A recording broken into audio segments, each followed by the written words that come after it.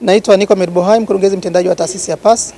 Leo katika uh, forum hii ya, ya National Agribusiness Forum tumezindua jarida la The Agribusiness Magazine.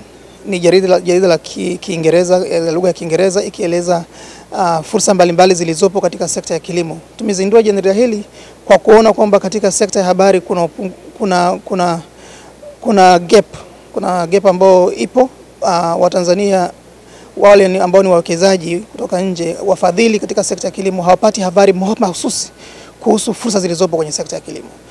Kwa hiyo tumeanzisha jarida hili ili iweze kutoa elimu na kutoa hii habari ya mafanikio ambayo tumepiga katika nchi yetu ya Tanzania ili kuweza kuhamasisha waweze kuzidi kuwekeza katika sekta hii.